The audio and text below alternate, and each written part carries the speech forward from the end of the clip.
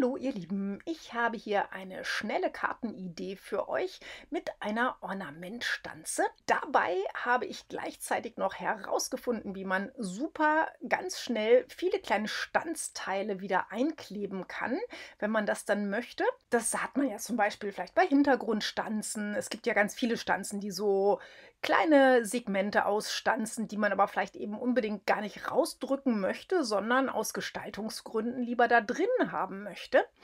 Und so sieht meine Stanze aus. Die ist gleichzeitig Türchen 3 von meinem Spellbinders Adventskalender. Ich weiß, ich mache das jetzt hier alles so total Freestyle und gar nicht der Reihe nach, aber es kommt, wie es kommt, würde ich mal sagen. Und ähm, ich zeige euch aber auch noch mal äh, eine Actionstanze, mit der ihr das Ganze verwirklichen könnt. Also diese hier, die hat eben so ein Ornament und da könnte man auch noch so eine Randstanze mitmachen. Und Stichwort Randstanze, dazu ist mir dann nämlich was eingefallen da habe ich mich hier an diese Stickstanze erinnert, die ja dieses Muster hat und eben auch diesen Rand ausstanzt. Wenn ihr diesen Rand abtrennt, dann müsste der eigentlich auch genauso auf der anderen Seite stanzen oder ihr könnt wahrscheinlich auch einfach nur das Papierstanzteil drehen und das dann wieder in diese Löcher einpoppen lassen.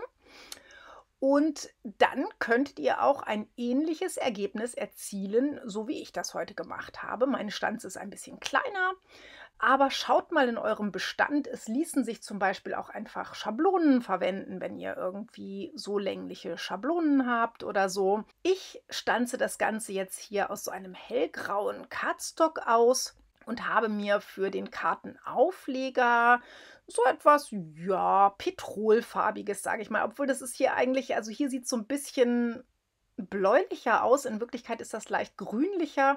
Also meins ist, heißt, glaube ich, Salbei. Das ist von Basil, glaube ich. Den habe ich schon ewig, diesen Cardstock. Dann habe ich mir hier noch so einen orange-kupferfarbigen Akzentkarton rausgesucht für die Schrift. Das zeige ich euch dann nachher. Das ist auch so ein Action-Modell. Da könnt ihr aber auch nehmen, was ihr habt.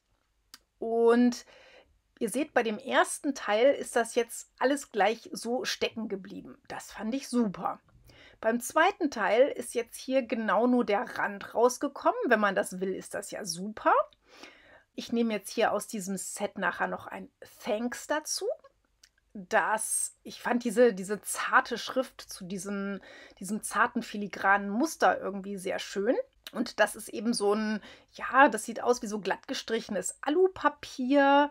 Und das ist so zwischen Kupfer und Roségold, würde ich sagen. Irgend so ein Farbton. Also es sieht sonst ein bisschen kupferiger aus, aber ähm, mit meiner Metallic Aquarellfarbe kam das auch nicht ganz hin irgendwie. Das ist irgend so ein, so ein Zwischenton, den fand ich aber sehr schön, weil der so leicht matt ist. Ich wollte jetzt nicht zu sehr von dem Hintergrund ablenken. So, und ich möchte das jetzt eben einmal komplett aufkleben und in dem oberen zeige ich euch nachher eben noch, wie man das reinfüllt. Also hier im Idealfall nimmt man das gleich so aus der Stanzschablone raus und da sind noch ein paar Sachen drin.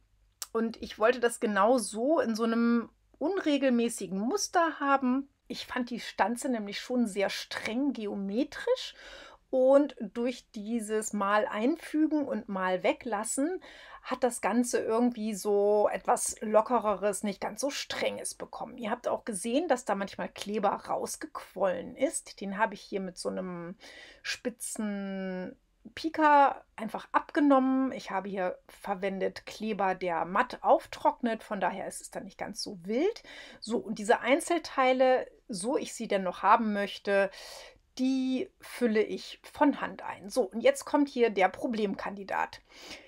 Ich nehme jetzt hier erstmal mein Grundgerüst und klebe da von hinten, also mache da Kleber drauf. Das wäre sicherlich auch super gewesen, das Ganze wieder mit doppelseitigem Klebeband zu beziehen. Also ich habe das wirklich so husch husch gemacht, habe ich in dem Moment überhaupt nicht dran gedacht, wie das dann so ist. Und setze mir das jetzt auf. So, und da seht ihr eben schon, das ist sehr schütter. Also da, ich möchte da einfach noch mehr Sachen drin haben. Wie füllen wir das jetzt einfach ein? Ich habe hier einen kurzen Versuch gemacht, einfach die lose herumliegenden Teilchen einzukleben, habe mir meinen Kleber direkt aufgegeben, aber habe dann gedacht, so, nee, das muss doch irgendwie auch eleganter gehen. Und ja, geht es. Und zwar drückt ihr die verbliebenen Stanzteile nicht aus eurer Stanzform heraus, sondern nehmt euch die Stanzform zur Hand und tragt jetzt den Kleber hier drin auf. Also ihr könnt das auch auf euer Positiv machen, was auf, der, auf dem Kartenaufleger schon ist. Das wäre auch gut gewesen. Also ich habe jetzt immer abgepeilt, welches Teilchen möchte ich eigentlich noch haben und welches nicht, denn es sollte ja nicht vollflächig werden. Also es ist egal, wo ihr jetzt den Kleber auftragt, ob auf eure Karte oder hier auf die Rückseite. Auf jeden Fall muss eben zum Kleben natürlich noch irgendwo Kleber hin. Und dann ist das total easy peasy. Ihr legt dann einfach die Stanze so aufs Papier, dass es auf diesem dünnen, auf dieser dünnen Linie, die ihr schon aufgeklebt hattet, einschnackelt, also richtig schön einrastet und drückt dann die fehlenden Teile einfach durch. Und dann habt ihr sie nämlich einfach drin und das ist super einfach.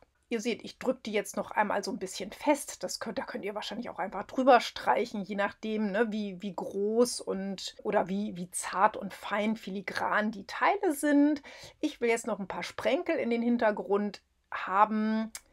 Da habe ich leider die Kamera nicht mitlaufen lassen. Da habe ich diesen rosa und diesen orange-metallic-Ton, sage ich jetzt mal, äh, ein wenig zusammengemischt und dann passte das haargenau für meinen Farbton von der Schrift. Weil die Karte ja sehr schlicht ist, dopple ich die Schrift noch auf. Um genau zu sagen, mache ich sogar drei Lagen weißes Aquarellpapier und da mache ich dann nachher noch direkt diesen Metallic-Ton in matt drauf. Das lässt sich immer ganz super zusammenkleben, sowas, wenn man sich irgendwo eine Ecke sucht, die man dann zusammenkniffen kann an den Buchstaben und der Rest legt sich dann irgendwie schon immer von alleine. So, jetzt wollte ich da doch noch ein äh, paar, zwei, drei mehr drin haben und fülle auch die noch ein. Wie gesagt, das lässt sich dann je nach Gusto immer noch machen. Jetzt schneide ich mir an den Rändern die Überstände ab und den einen Überstand, den nehme ich sogar noch hier für die andere Seite. Fülle auch da nachher noch ein paar Lückenfüller, also ein paar Zwischenräume ein und voilà, da ist die fertige Karte. Wie gesagt, beim, bei den Sprenkeln habe ich jetzt vergessen mitzufilmen, aber das ist ja nun kein Hexenwerk. Ne? Hier seht ihr das so ein bisschen. Ich habe den Farbton eben an, an meine Schrift angepasst und das sieht doch alles schon mal ganz prima aus. Und ich finde eigentlich, dass das Ganze jetzt so ein bisschen an Makramee erinnert. Wie gesagt, mir war der, die Stanze, die hätte ich mir bestimmt nie selber gekauft. Die fand ich irgendwie sehr streng. Äh, aber so hat das etwas Spielerisches. Und ja, also ich, ich finde, das hat irgendwie so eine Makramee-Anmutung. Ich weiß auch nicht wieso. Dann äh, schreibt ihr mir doch mal, ob ihr selber auch irgendwie so Randstanzen oder Ornamentstanzen habt, mit denen ihr das machen könnt und ähm, ja, wie euch die Karte so gefällt. Und habt ihr denn auch irgendeinen Bastel-Adventskalender oder wie ist das bei euch in der Familie so? So, damit sind wir auch schon wieder am Ende des Videos angelangt. Ich danke euch sehr fürs Zusehen. Wenn ihr die Videos nicht verpassen möchtet, ich äh, habe gesehen, ich habe extrem wenig Aufrufe zurzeit. Das kann am neuen Thumbnail liegen, aber vielleicht interessiert ihr euch auch einfach nicht für diese Spellbinders-Geschichte. Ist ja auch völlig okay, aber ich habe halt gerade Lust damit zu basteln.